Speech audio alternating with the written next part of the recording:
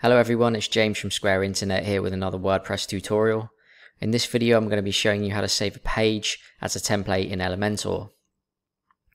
This can be quite confusing if you haven't learned the process yet because there are a few ways you can save pages, but I'm going to show you it's a simple and straightforward process and I'll walk you through it now so that you know how to do that. First thing you need to do is need to have a page open in Elementor that you want to save as a template, which I do right now.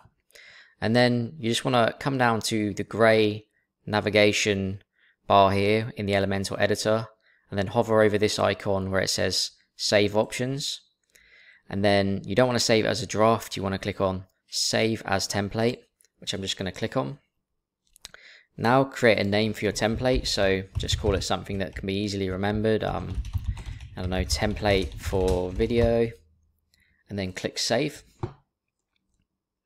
That was really simple, right? And now we'll into the template library. Let's just find the template. We called it template for video, didn't we? So it should be, um,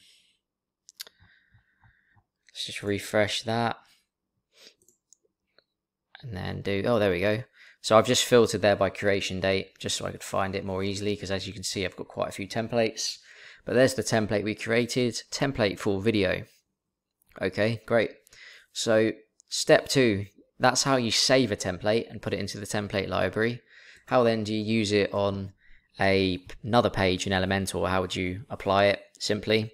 Well, you can use display conditions to do it, uh, you know, using those conditions. But for the purposes of this video, I'm going to show you the simple way using the uh, icon here where you would manually add the template. I've got a uh, blank page here in Elementor. I'm just going to refresh the page so that the page is up to date with the uh, template library. And then you just want to click on add template and click on my templates and then find the template you just created. The easiest way is to just click on creation date so that the newest one is at the top. And there's the template we created.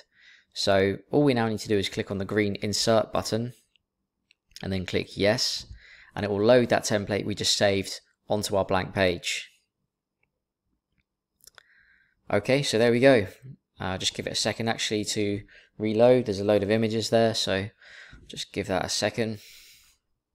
Okay, it looks done now. So everything's been imported. The layout, the content, the styling, and the imagery. Just like that. Nice and simple. So really simple and straightforward. You save it as a template down here and then you import the template from my templates. One final thing I'll show you, if you want to export templates and transfer them between Elementor websites, the way to do that would be to come into the WordPress dashboard, go into Save Templates, which is found under Templates, find the template that you want to export, and then hover over the template. Um, just refresh that page. So yeah, there's the latest template. So hover over that and click export template and it will export a JSON file. Don't worry about that if you don't understand what JSON is. You don't need to understand that. Then to import the template, um, go to the website where you want the template, you know, whether it's a different uh, Elementor website, I assume. And then you'd click on import template at the top, click on choose file, and then import that file you just downloaded, the JSON file, import now, and that will start the process of importing the template to your Elementor website. So there you have it. It's a really simple and straightforward process. You now know how to save the page as a template. You know how to import it onto a different page on your website. You know how to export templates from your website and you know how to import them to a, a different website that's running on Elementor. Hopefully you found the video useful. If you did, make sure you subscribe for future videos. I'm releasing a lot of WordPress videos, free WordPress content on this channel. And if you'd like an easier way in general of building WordPress websites, make sure you check out my free course, WP the Easy Way. It's a complete system for building WordPress websites with Elementor without a theme, lots of plugins, or a developer.